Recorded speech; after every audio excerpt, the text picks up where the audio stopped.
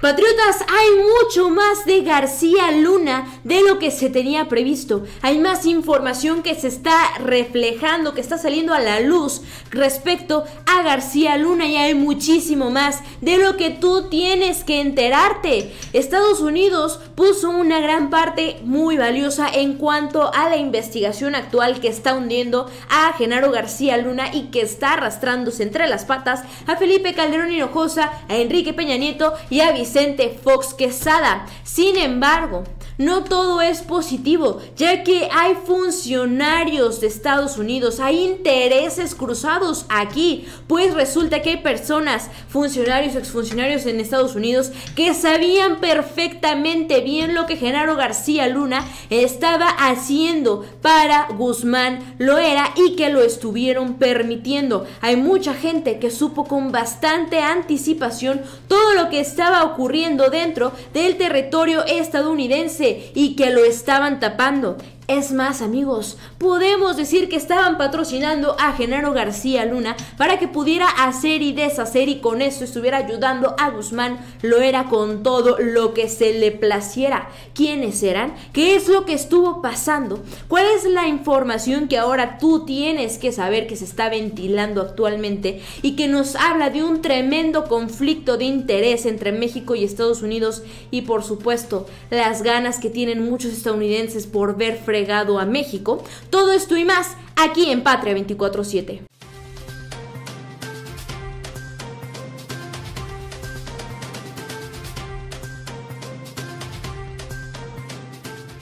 ¿Qué tal amigos? Yo soy Carolina García de la Unidad de Investigación de Patria 24-7 y mis queridos amigos, los invito a que se suscriban a este canal, a que activen la campanita de las notificaciones y así puedan seguir muy de cerca toda la información y todos los contenidos que por supuesto hacemos cada día para ustedes. Y bien mis queridos amigos, es que sabemos que está avanzando todo en contra de Genaro García Luna, este exfuncionario del gobierno federal, en aquellos tiempos en los que Felipe Calderón Hinojosa estaba atormentando a todo el pueblo de México con una llamada lucha contra aquellos que se dedican a estar emponzoñando a las personas a las calles tanto en México como en Estados Unidos y fue precisamente por esto mismo que Genaro García Luna cayó, que fue detenido y que ahora está enfrentando un sinfín de acusaciones y un proceso del cual él no va a salir bien librado. Y es que mis queridos amigos, todo parece apuntar a que para García Luna la cosa se está poniendo de color de hormiga. Pero bien amigos, vayamos a ver la información que tenemos preparada para ustedes. Crecen preguntas sobre vínculos de García Luna con exfuncionarios de Estados Unidos. Los vínculos laborales entre exfuncionarios estadounidenses y un exministro mexicano detenido recientemente en Dallas, Texas, por supuestamente haber recibido sobornos de estos grupos delictivos han generado dudas sobre lo que sabían las agencias de seguridad de Estados Unidos antes del arresto. Un exfuncionario que dirigió la Oficina Federal de las Investigaciones FBI, por sus siglas en inglés, en, en México, y un exoficial de la Agencia Central de la Inteligencia CIA, trabajaron hasta el año pasado con García Luna, uno de los principales arquitectos de esta lucha contra los estupefacientes en México iniciada hace unos 13 años aproximadamente. Raúl Roldán, quien fuera responsable de la FBI en la Embajada de Estados Unidos en México cuando García Luna lideraba la seguridad del país, figura como miembro del consejo de la empresa Glack Consulting del exfuncionario detenido. García tenía una relación cercanísima con la parte de inteligencia de Estados Unidos. La tuvo durante muchísimos años, dijo el analista de seguridad mexicano Alejandro Hope. Y si hizo lo que dicen que hizo, entonces eso es una condena muy severa a los mecanismos de verificación de toda la parte de inteligencia de Estados Unidos, añadió. El exfuncionario mexicano fue arrestado en Dallas la semana pasada, acusado de haber recibido millones de dólares en sobornos para estar ayudando al grupo que encabezaba Guzmán Loera a operar con impunidad. García fue responsable de la Agencia Federal de Investigación, la AFI, del 2001 al 2005 durante el gobierno de Vicente Fox y secretario de Seguridad Pública del 2006 al 2012. Pues bien, eh, estamos viendo aquí eh, cómo eh, se empieza a hablar de unos nexos y de un trabajo de mano en mano por parte de Genaro García Luna y de personas de, hoy ex agentes de la CIA y del FBI, lo cual mis queridos amigos no suena tan descabellado. La cuestión es por qué las autoridades de Estados Unidos no lo habían señalado antes, por qué no hicieron mención de esto antes. Y lo que me hace pensar y que aquí en Patria 24/7 en muchísimas ocasiones ya lo hemos estado compartiendo con ustedes? Pues porque casualmente cada que en Estados Unidos detienen a una persona, algún delincuente de esta calaña, como Guzmán lo era, por mencionar alguno, son delincuentes mexicanos. ¿Qué hay de eh, policías estadounidenses que se presten para que personas como Guzmán puedan estar operando con libertad, que hay de funcionarios en el gobierno que permiten lo mismo, que hay de todos aquellos estadounidenses que se suman a esta cadena de impunidad para que los delincuentes mexicanos, vámoslo poniendo así con los puros mexicanos, que ellos puedan entrar, operar y hacer y deshacer en Estados Unidos a su antojo. ¿Y acaso no hay personas en Estados Unidos que también se dedican a estar produciendo, a estar vendiendo, a estar exportando este tipo de mercancías ilegales y que dañan muchísimo a la salud? ¿Por qué casualmente nada más se hace mención de los mexicanos? ¿Y por qué cuando cae un mexicano no se destapa como en esta ocasión toda la cloaca que hay detrás de esto y que permitió que fue el sostén que organizaciones como la del Pacífico se fueran posicionando posicionando en aquel país? ¿Por qué la necesidad de nada más dejar mal parados a los mexicanos cuando hay muchos estadounidenses que en principio de cuentas también están bien embarrados en esta situación? Y todo esto, mis queridos amigos, se ha venido destapando y se ha venido mencionando poco a poco más. Y es que casualmente, fíjense cómo están las cosas hoy en día y cómo han estado desde hace ya algunos años. Estados Unidos responsabiliza y culpa a México de que haya delincuentes como Guzmán lo era, estoy citando a él porque es de, los más conocidos y es para que, eh, pues sin mencionar palabras censurables, entendamos de lo que estoy hablando, como Guzmán lo era, como el Mayo Zambada, que pueden, que, que, son detenidos allá o que operan allá, que hacen y deshacen allá. Pero ¿por qué Estados Unidos no habla de lo que también le hace a nosotros aquí en México? Y es que si estos delincuentes se han posicionado, es en gran parte por los artefactos bélicos que manejan. ¿De dónde vienen esos artefactos bélicos que manejan nuestros delincuentes mexicanos?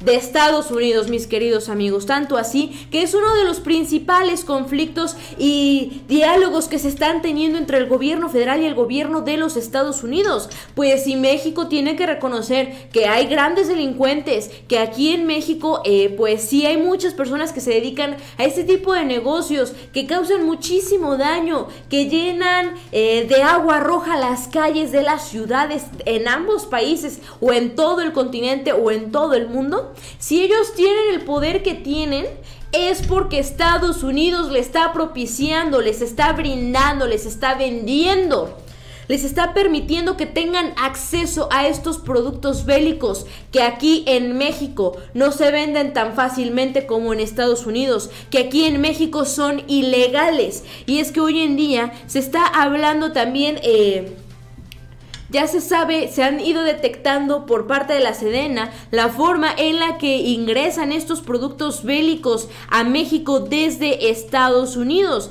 Y es bien sabido, mis queridos amigos, eh, pues que es de allá de donde provienen todas estas artefactos, de donde vienen todas estas herramientas que nada más generan más inseguridad en las calles, que nada más llenan más de agua roja nuestra ciudad. La Sedena ya fue identificando algunos puntos de cómo es que estas armas entran a nuestro país. Inclusive se está hablando y se está negociando ya, se, se le está exigiendo a Estados Unidos que ponga un mayor control en cuanto a la venta y la accesibilidad que tienen ellos para este tipo de artefactos y que pongan un mayor control y una mayor vigilancia para estar impidiendo que estas cosas, que esta porquería llegue a nuestro suelo mexicano. Lo que ya les mencionaba yo, mis queridos amigos, una vez que la mercancía ilegal que trafican este tipo de personas llega a Estados Unidos, ¿qué procede? ¿Qué se hace? ¿Quién la distribuye? ¿Quién la mueve? ¿Por qué nada más nos están cantando a los grandes mexicanos que se dedican a ese tipo de negocios? Y no los estoy defendiendo, que se entienda bien esto. Yo no estoy defendiendo a esas personas porque por supuesto que están haciendo mucho mal. Por supuesto que si México está hundido en en muchos de los problemas de los que está hundido es en gran consecuencia porque ningún presidente había tenido los tamaños pantalones para ponerles un freno y un hasta aquí. Pero lo que más me molesta o lo que más puede incomodar es porque Estados Unidos no reconoce la parte de culpa que le corresponde. Porque allá, eh, ¿cuántas veces lo voy a poner así? ¿Cuántas veces habíamos escuchado que detienen a una persona eh, y que detrás de ella empiecen a caer persona mexicana o persona eh, latina? Que caiga allá en Estados Unidos por este tipo de delitos y que empiecen a caer varios gringuitos a su par. Perdón, pero eso no es muy sonado. Eso no es muy sonado. ¿Qué pasa con las autoridades gringas que se dedican a estar encubriendo este tipo de situaciones?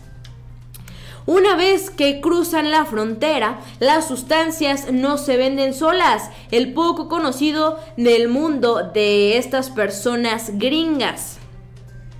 Para muchos, Casi siempre la primera imagen de un personaje que se dedique a esto es eh, de piel morena, con camisa de seda, sombrero, botas vaqueras y joyas ostentosas. Pero la apariencia de estas personas en Estados Unidos es muy distinta. En general se trata de personas de tez blanca con ojos azules, vestidos con ropa casual o deportiva. También hay madres de familia, a veces con pequeños, a veces negociantes o empresarios locales. Son personas discretas que no despiertan sospechas de la policía y muchas veces tampoco de sus vecinos o de sus amigos. Y es que, eh, a diferencia de la percepción de la mayoría de los estadounidenses, reflejada en los medios de comunicación, el problema no son solo los grupos delictivos mexicanos. Una vez que cruzan la frontera, estas sustancias no se venden solas no se venden solas y es ahí cuando entra la mano del gringo, es ahí cuando entra eh, la autoridad o la persona que permitió que, que estas sustancias cruzaran la frontera, llámese por tierra, por mar, por aire, que se permitió que ingresaran estas sustancias. Desde ahí hay complicidad y desde ahí ya hay personas que tienen que estar cayendo y que también tienen que hacerse responsables y el gobierno de Estados Unidos las tiene que empezar a ser responsables por toda esta situación, que no le quieran cargar nada más este asunto a México.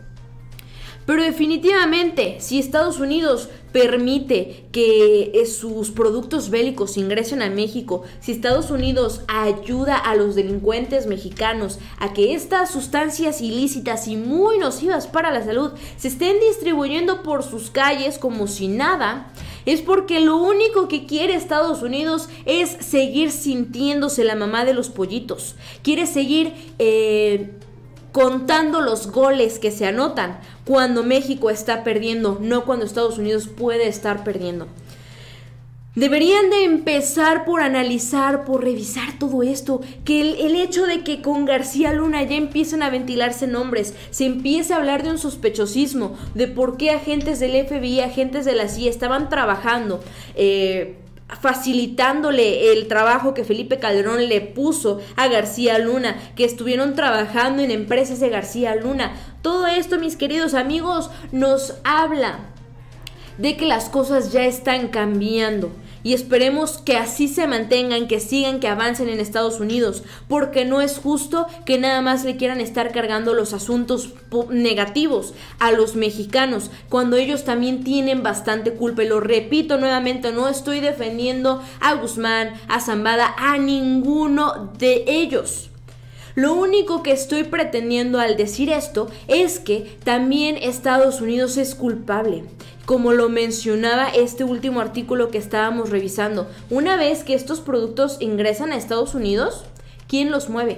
¿Quién facilita que estén ingresando? ¿Por qué nunca Estados Unidos nos había estado hablando de eso? Pero sí nos hablaba de cómo México es un país malo, de cómo México se encarga de estar emponzoñando a la juventud estadounidense, cuando ellos nunca han hablado de cómo ellos han estado afectando a nuestro México, de cómo ellos han afectado a nuestra juventud, a nuestros pequeños, a nuestros adultos, de cómo ellos sí han afectado severamente a nuestro nuestro territorio nacional. Yo soy Carolina García de la Unidad de Investigación de Patria 24-7. Suscríbanse a nuestro canal y activen la campanita para que estén al pendiente de los contenidos que estamos generando para ustedes. Déjenos su opinión en los comentarios y también síganos en nuestras redes sociales.